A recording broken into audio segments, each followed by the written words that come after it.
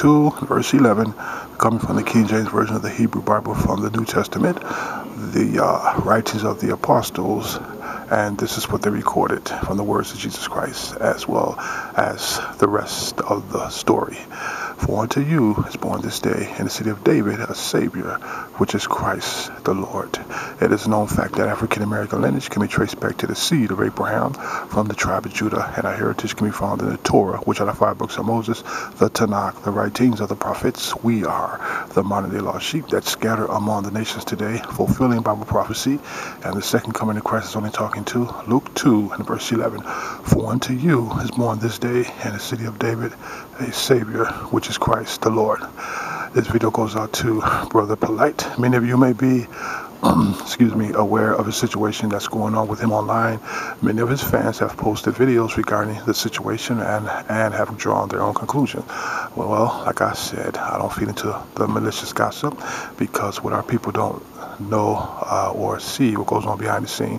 And most of what you see is public manipulation. So I'm just here to bring comfort to the situation and edify him. Hopefully, that he has a chance to view uh, some of the videos that are dedicated to him.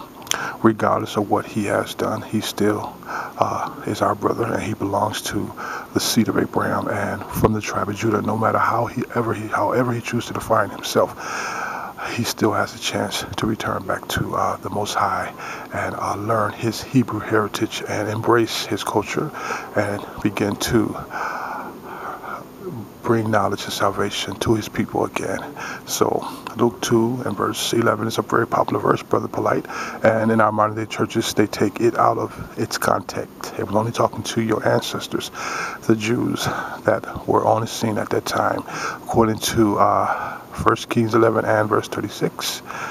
For unto his son will I leave him one tribe, so that my servant David may always have a light before me at Jerusalem, the city which I have chosen me to put my name there. So he left one tribe of people when he split the kingdom of Israel.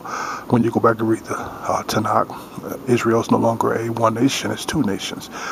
And he left the tribe of Judah there, and as well as his name there. So that city, Israel, belongs to the Most High. And he's going to return right back to the same place where he was born, crucified, and resurrected.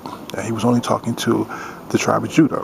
He was only sent to them. They were known as the lost sheep, according to Matthew 15, verse 24. And he answered and said, For I have not sent but unto the lost sheep of the house of Israel. And the elders at that time didn't take care of his sheep, so uh, Christ came looking for them. They were wandering everywhere. They were uh, just all over the place. And um, Christ condemned the elders when he got to Jerusalem, and he went and went and took care of his sheep. They were the ones who witnessed him and received the um, gospel that he was proclaiming throughout Galilee. Matthew 4 and verse 17 says, Repent, for the kingdom of heaven is at hand. He went teaching and preaching in their synagogues. And it's very important, Brother Polight, that you understand that Luke 2 and verse 11 still talks to our people as well as you today, whether you choose to believe it or not. Shalom, my brother.